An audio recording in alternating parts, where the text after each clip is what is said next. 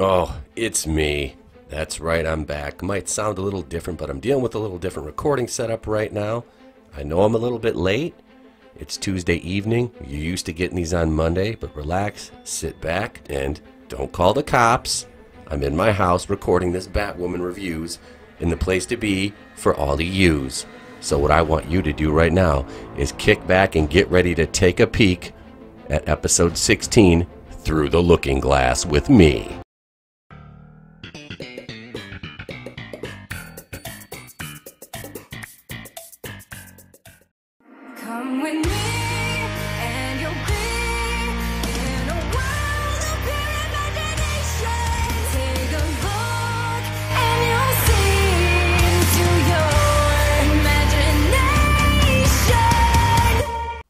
Alice and Kate are talking, and Jacob is digging the grave for Mouse's dad.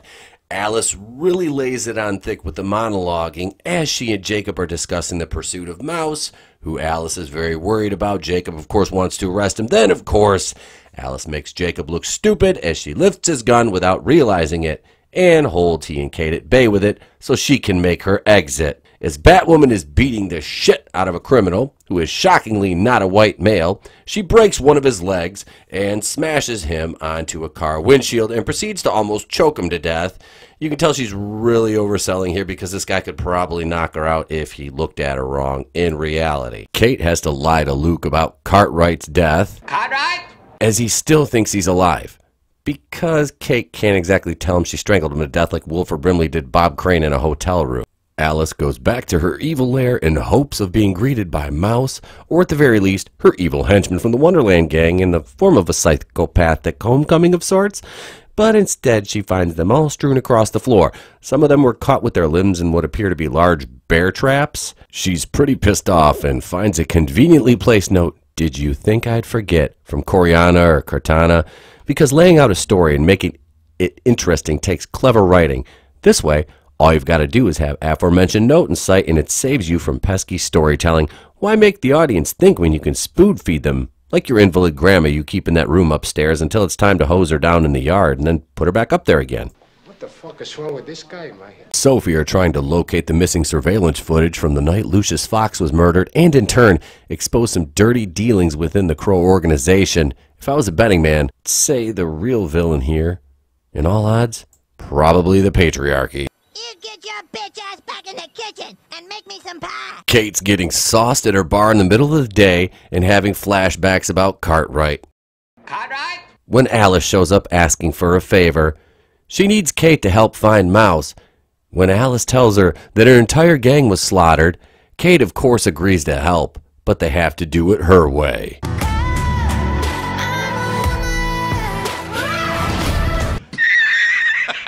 Alice says, considering that Kate's way included strangling someone to death until they choke on their own blood, she'd like nothing more.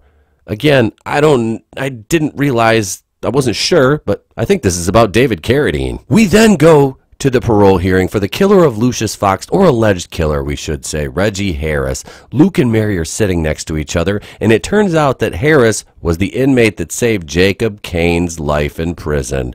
Oh, the delicious irony of it all. Sophie finds another murdered nurse when she's accosted by Julia Pennyworth, who saves her from a sniper's bullet and makes her very hot return to the program. And they discuss the fact that they know each other because they're both Kate's exes. And just between you and me, I think you know what time it is. The lesbian! We rejoin Kate and Alice on the couch at the other nurse's house because Mouse is hunting these nurses down and supposedly killing them. As Mouse comes stumbling up and yelling, Nurse Jenny, Nurse Jenny, almost reminiscent if Forrest and Jenny had gotten into some kinky role play before the AIDS baby was born. Okay, Jenny. And I'll mow the grass and raise the AIDS baby. Crows show up on the spot, arrest Mouse, with Jacob in the lead, of course. As Kate and Alice argue over who called the crows, Nurse Jenny walks in with a double barrel shotgun and says she called them. Kate and Alice wrestle the shotgun away from dollar store Kathy Bates, but not without a shot being fired before they make their escape. Kate and Alice are sitting there in the bar, rambling some bad dialogue. When in the middle of it, in tears, Alice offers a sincere thank you to Kate for killing the man who tortured her and destroyed their family. Kate says she only feels guilty for not feeling guilty, and they discuss the possibility that they're more alike than they thought. Kate agrees to help reunite Alice and Mouse, but no one dies in the process. Alice promises her that no one will die. Linen truck pull up to the gates of the Arkham Asylum, and the driver is, well, Listen here, washy washy, you do have my shirt. I know have your shirt. You yes have my shirt. You get out my store. You give me shirt. You go, I call police. You no dare call police. Oh, you want to play game, fatso? and unbeknownst to him, the guards discover an explosive device underneath his truck. Alice's idea of a small distraction. Kate tells her that they better not have gotten that driver shot when they're inside and the alarm goes off. Arkham, well, Kate and Alice, and they get into the main hallway through, you guessed it, a ventilation shaft. This is getting out of hand. Now there are two of them. Kate beats the hell out of two guards, helps Alice out of the ventilation shaft. She beats these guards like way too easily. I mean, these are big guys.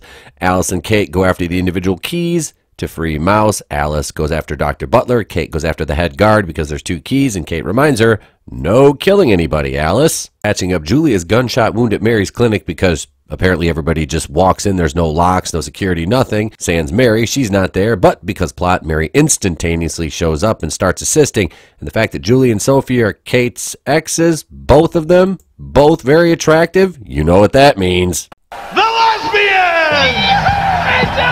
Go back to Luke watching Reggie on the street as he's approaching his apartment with his mother. Luke walks up to him.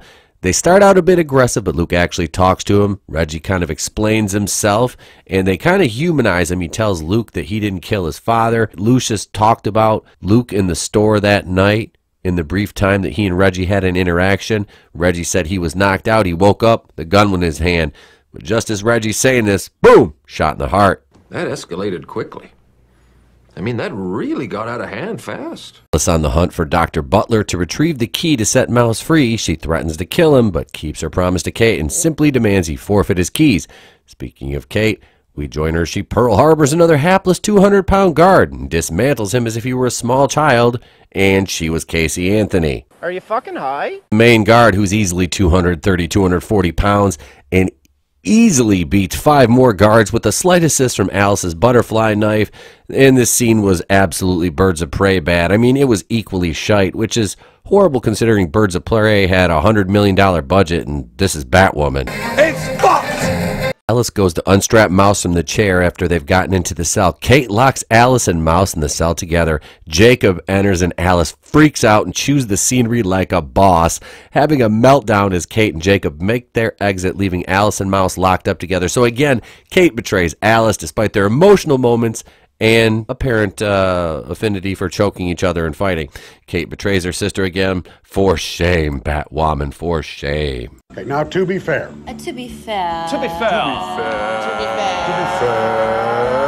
more scenes with Kate and Jacob in his office, and he's discussing how they have Alice in isolation, and he moved the body of Cartwright, so Alice can't frame them anymore. Luke and Mary scene, and some other stuff with Sophie, but then Jacob is walking through the parking lot. Sophie's on the phone with him. Somebody tries to kill him. Of course, Jacob shoots the guy and kills him before he can find out who hired this hitman, who was obviously hired at a Dollar General. Kate at Wayne Enterprises says Kate is drinking on a ledge, literally, and we get more exposition because, again, creative storytelling is difficult. Julia comforts her, and then we get.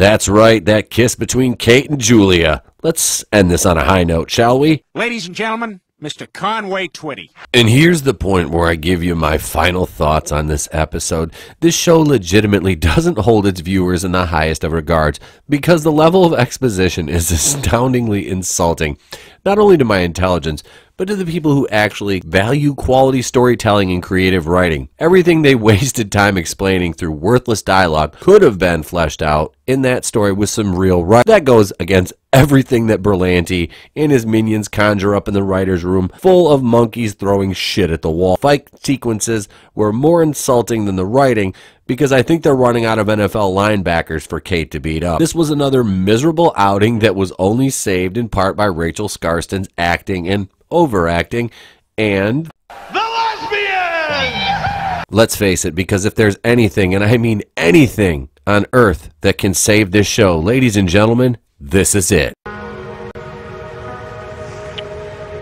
Hot lesbian action! That's it. That does it for me. There's where you can find us across social media Instagram, Facebook, and Twitter. Past podcast available, Anchor, iTunes, and Spotify. That's right. There's a bunch of places where you can get in touch with us over here at the Place to Be Reviews. And I'm going to put the podcast on hold the rest of the week so I have time to get healthy. Click that subscribe button, join the Fandom Menace, a great community on YouTube and online. Hail the Fandom Menace, and thank you for joining me at the Place to Be Reviews. I'm Itepo Kuin, and if I don't see you, have a great day and a pleasant tomorrow. There's another video that's coming up next.